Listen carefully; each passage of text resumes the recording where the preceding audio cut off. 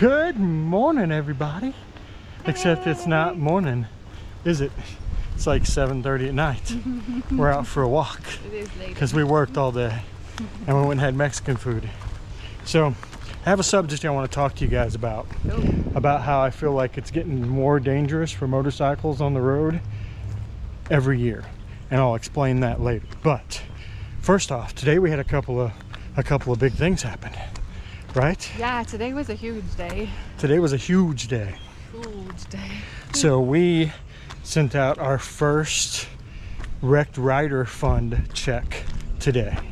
Well, yes, it was our, Our first wrecked rider- wrecked we've rider fund, yes. biker, yes, a wrecked rider. fund. We did a support a biker for Daryl. Everybody knows that story. Yeah. But today was our first $200 check. Yeah. check that we sent out to a wrecked rider Yep. um, for the wrecked rider fund. So our very first one, um, Yeah. which was awesome. Mary Christine Brown. Yes. Um, support bikers Louisiana. Yes, except we had to pull it from the national fund. Yes. um, and now the national fund is depleted. But this is brand new, guys. So Right. you know we're just trying to. There was two applications. There was actually two of them. Um, she was riding with him, but she filled out the application first. So we gave we Her. gave the two hundred dollars to her, and then they started a support a biker. Right. Oops, sorry, we keep running each other. They started a support a biker, and uh, so we'll help push that and see if we can't help the. It's a combined one. The two of them are combined in that to help them both out. And then unfortunately, we also got another one from Kansas, Kansas. and we had to turn it down. We just don't have the funds there. Yeah, So we need your help. it'll get there, right? And we just start. We launched it. April first. It hasn't even been a month yet. Yeah. We've already been able to do uh, a check, which is awesome. And uh, we've also been able to do a few support bikers. Yes. So there's been a few of those turned in. Where are we going? I don't We're know. lost in Monette. We went that way last time. We'll go this way. this way. Anyway, so that's it. I'm going to enjoy the rest of my walk and then I'm going to talk to you about the dangers that I see for us motorcyclists here in the future. Technology is going to fucking kill us. Stay tuned. All right, walk is over. Girls are inside. My sister got her a new piece of furniture, a new old piece of furniture. So they're in there messing with that. And I wanted to come out here and talk to you guys about something I've been seeing a lot of articles and stuff about recently, and that is technology. And What I mean by that is, of course, texting and driving and watching YouTube videos and playing on Facebook and all of that is probably the most dangerous thing to motorcycle riders that has ever existed. Far worse than drunk driving and because everybody's doing it, not just a couple people, everybody. And so that makes it incredibly dangerous. But what's making it what's making things even more dangerous is these car companies and all are putting so much technology in the car that we are now relying on this technology um, to drive us.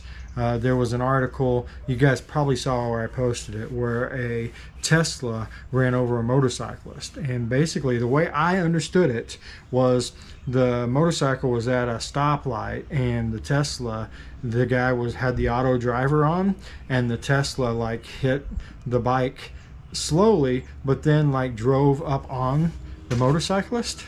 Um, that's the way I understood it. I could be completely wrong, but anyway, I do know that a Tesla on auto drive um, ran over and killed a motorcyclist.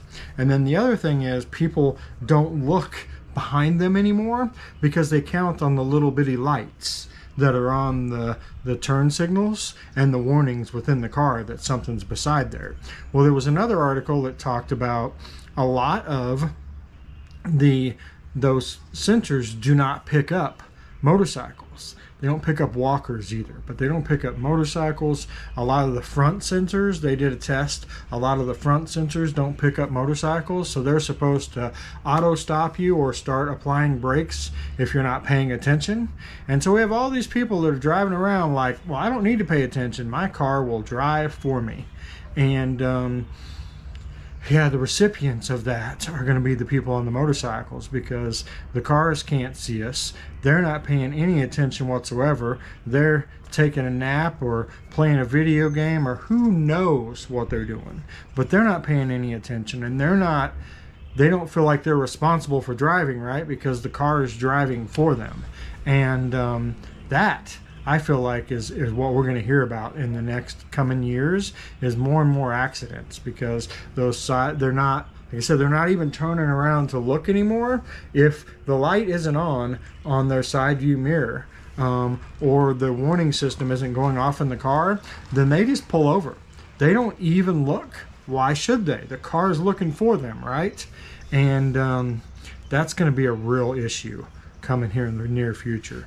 I don't know how they fix it, but they're going to have to do something, or we're going to. you thought it was bad before. I mean, at least before people were semi looking when they pulled over. Now they're just going to be like, oh, my car's looking for me. I don't need to look at all. That, that scares me. That scares me more than the distracted drivers, even. Because at some point, they're just not even going to look they're just going to count on the car to do it for them. And um, yeah, and we're going to be the targets. So be careful out there, guys. Remember that when you're pulling up on somebody. Like I watch for their little light to turn on when I'm beside the car. Um, sometimes they do, sometimes they don't. Next time you're going by a car, look at that side view mirror and see if the little light lights up when you're beside them or if it doesn't. That'll tell you whether the car's picking you up or not. Um, don't do that in front of the car because if the car isn't picking you up, they're going to run you the hell over. But anyway, something to look at when you're riding down the road. But that was what I wanted to talk about. What do you guys think? Do you think that that poses a larger threat for us, or do you think they're going to figure it out and it's going to be safer for us? Personally, I don't think they're going to figure it out and it's going to be safer. I feel like it's going to be even more dangerous. But uh, we'll just have to see. Anyway, guys, keep yourselves. Anyway, I'm saying that a lot tonight. Anywho, anyhow. All right, guys, have a great night, and we will see you all tomorrow.